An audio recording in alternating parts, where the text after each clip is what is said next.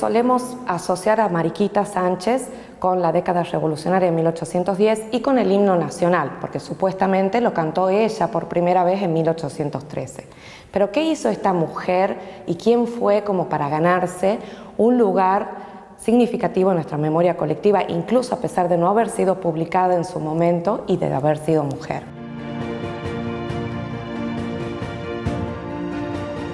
Mariquita Sánchez nace el 1 de noviembre de 1786 en la ciudad de Buenos Aires y murió en 1868, un poquito antes de cumplir 82 años en su casa natal.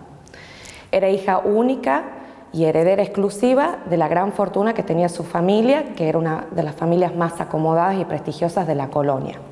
Y recibió una educación por arriba del promedio de lo que era su época y su género. Con tan solo 14 años, ella se plantó en defensa de su derecho individual, de su derecho a elegir marido, por amor.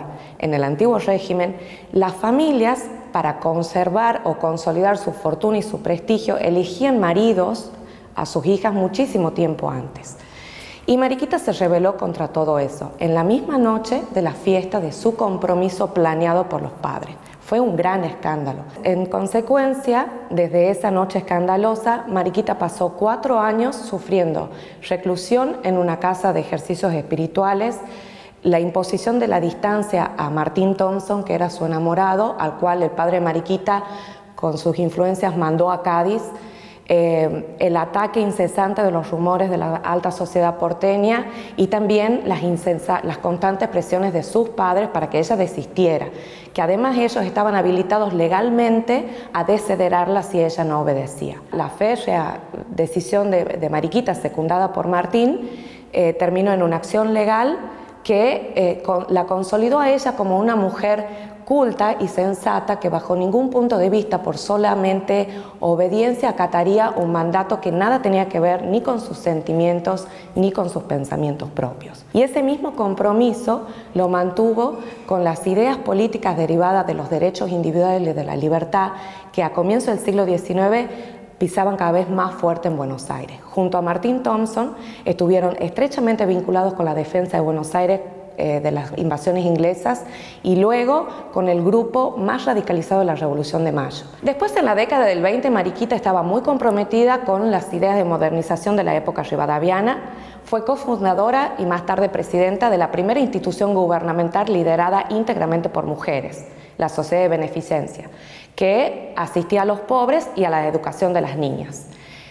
Después, tras enviudar de Thompson, Mariquita se casa con Baptiste Mendeville, que llegó a ser cónsul francés gracias al apoyo también de Mariquita. Desde 1828 en adelante, la casa de Mariquita se convirtió en oficina diplomática, en centro de reunión de influyentes personalidades extranjeras y locales y también en foco de difusión de las ideas del romanticismo. El compromiso que ella tenía con esas ideas del romanticismo la llevó cada vez a una mayor oposición con el gobierno de Rosas y a optar por el exilio en Montevideo. En Montevideo su casa fue centro de las tertulias más importantes de, de la banda oriental eh, reunía a personalidades de la vieja Guardia Unitaria y también a todos los antirrocistas de la generación del 37. Ayudó a muchísimos correligionarios en peligro de vida a huir del país, facilitó recursos materiales para la, causa contra Rosas, actuó de espía o corresponsal de prensa, recabando toda la información que podía ir remitiéndola a la prensa opositora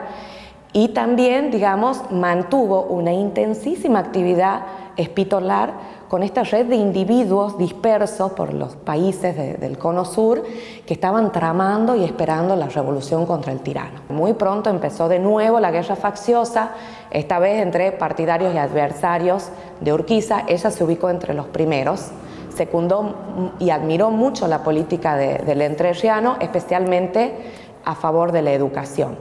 En suma, vemos a Mariquita integrando los círculos más avanzados o de vanguardia de su. Mariquita nació y se crió en la colonia, en donde el individuo no existía, sino que los hijos eran piezas claves que se ubicaban según la estrategia más conveniente a la familia. Ella rompió con todo eso y al defender la libertad de la mujer, esta libertad de elección de la mujer, abrió camino a otra serie de derechos sociales, políticos y civiles que las mujeres van a comenzar a reclamar para sí. En Mariquita se hace carne lo que las feministas muy bien señalaron en el siglo XX, que es lo personal es político.